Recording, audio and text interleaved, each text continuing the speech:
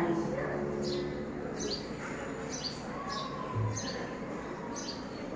่มีเสียงเลยเอาใหม่ค่ะสวัสดีค่ะลูกสวัสดี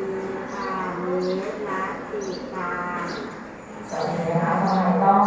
ให้กระดิ่งลงเพราะว่าเช้าเช้าสองของเราได้รับการกระตุ้นนะคะและมาลงสู่พฤติกรรมโดยถ้าสมองนะคะเหนื่อยล้าพฤติกรรมของเราก็เฉยชาแล้ววันนี้เป็นวันสอบ ด้วย ถ้าสมองของเราไม่เต็มที่ แล้วเราจะเอาสติปัญญาทำตัวที่ไหน